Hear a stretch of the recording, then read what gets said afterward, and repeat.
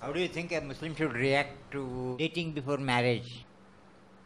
And uh, whether in Hadith there is any punishment to sodomites, lesbianism, uh, any mention like that? That was the question. That is dating allowed before marriage? And is there any punishment for sodomy? Sodomy and lesbianism. Is there any punishment? As far as uh, sodomy and lesbianism is concerned, it's totally haram.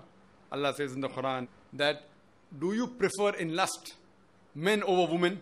Means telling to the men that are you going after men rather than women? Talking about Qawmi.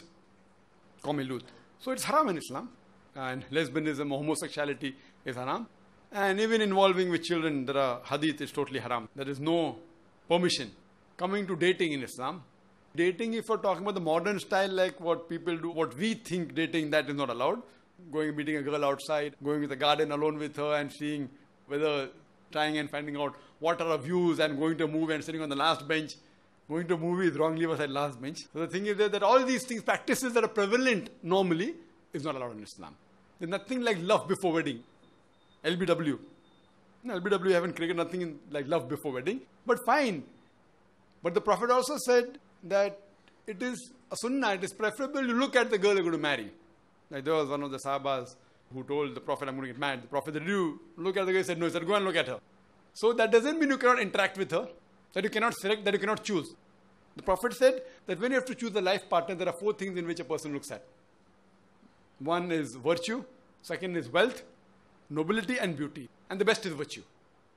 So that means you can, if there is a proposal, if someone gets to you or you find and you come to know, fine, you can have a meeting with the would be spouse, the girl, the would be husband, the boy, the would be wife. But when you meet, there should be a mahram along with you. Either the boy's sister or the girl's brother.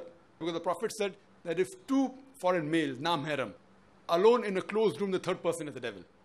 So maintaining the modesty, maintaining the hijab level, surely you can meet the would-be husband or would-be wife, interact, exchange views, find out the views, no problem. Speak once, twice, thrice, one hour, two hours, no problem. But not in seclusion. Not outside in a garden alone, or in a movie theater, or going to McDonald's, fine. So within the purview of the Islamic Sharia, you can surely meet, you can choose, you can reject. You can reject and go and look for another one, but within the purview of the Islamic Sharia. So if it's done within, there's no problem. It is preferable, it is the Sunnah.